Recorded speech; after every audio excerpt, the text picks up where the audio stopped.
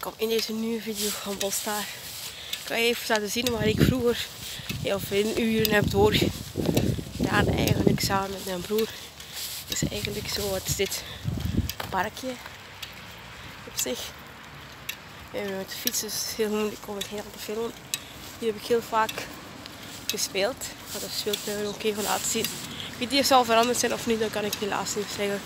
Maar uh, ik heb wel uren doorgespeeld. Het is eigenlijk een soort doolhof.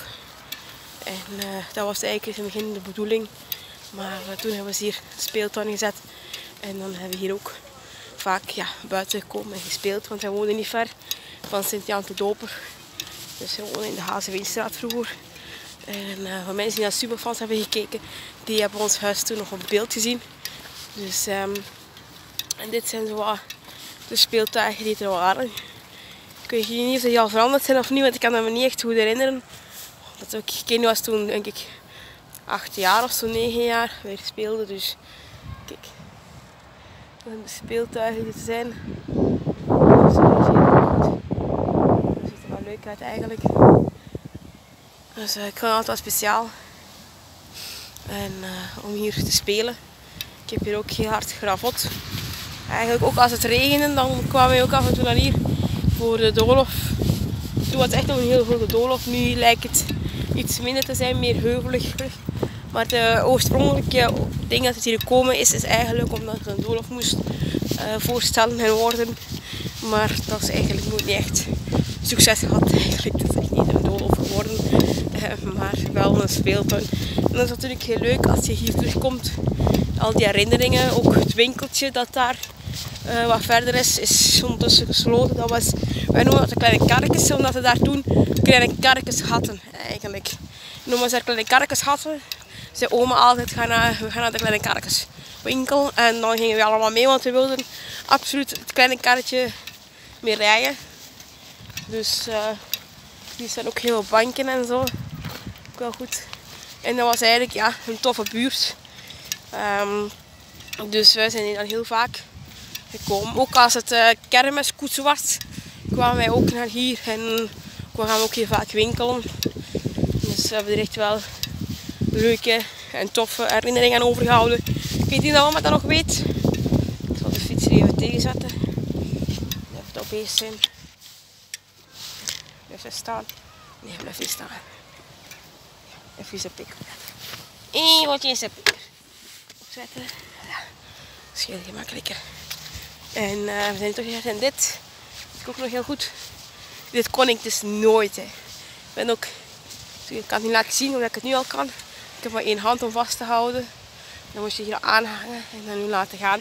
En dan, ja, dan draai je eigenlijk helemaal rond. Ik ga het even laten draaien.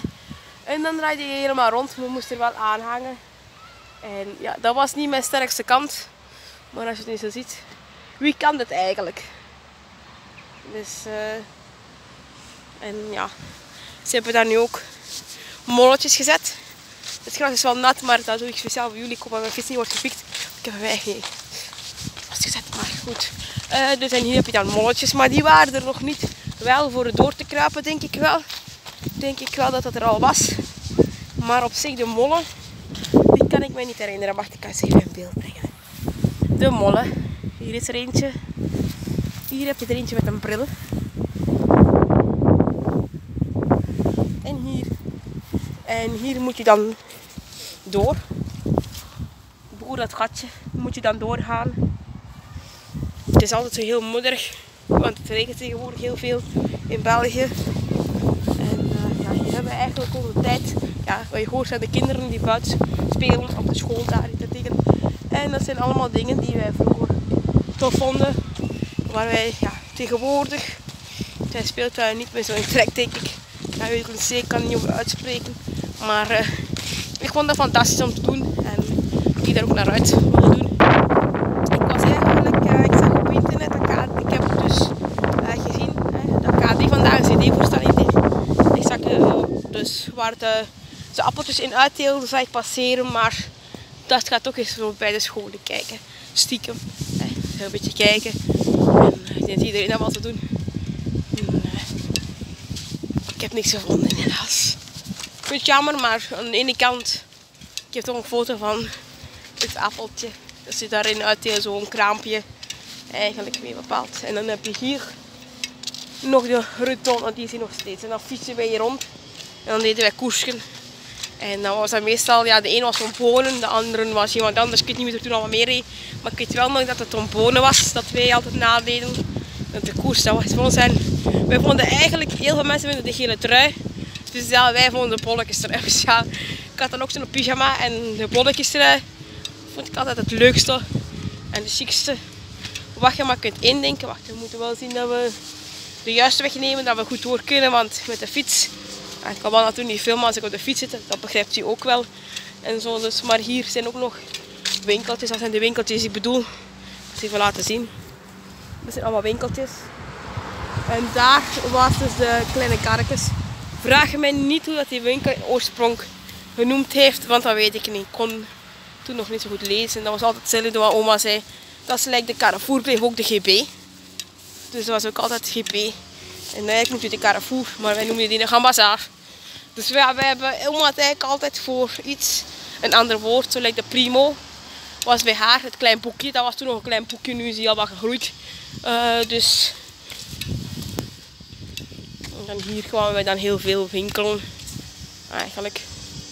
Toch om dat nog eens terug te zien. Eigenlijk. Maar we hadden daar eigenlijk een heel groot plein. Dat hebben we nu ook aan ons huis eigenlijk wel een groot plein, maar niet zo groot als dit. En ja, nu gaan we minder voetballen. En dan foto, dat is ook, want het kind is groot geworden, maar misschien met uh, Enzo, eh, een tweede kindje, de zoon van Kenny. Um, dat gaan we dan ook doen. Eh. Dus ik hoop dat ik hem ooit kan vastleggen dat speelt, dat dat ooit mag. Dus uh, dan kunnen we daar misschien ook eens een video van maken. Maar we gaan even sturen, want hij is nog maar twee maanden. Dus dat gaat wel nog even een jaren uh, duren voordat dat kan. Dus, uh, maar dan heb je het zo een beetje gezien waar wij vroeger speelden. Ik hoop dat je dit een leuke video vond. Doe zeker een duim omhoog. Vergeet natuurlijk niet te abonneren. En dan zien we elkaar terug snel in een nieuwe gloednieuwe video. Tot ziens!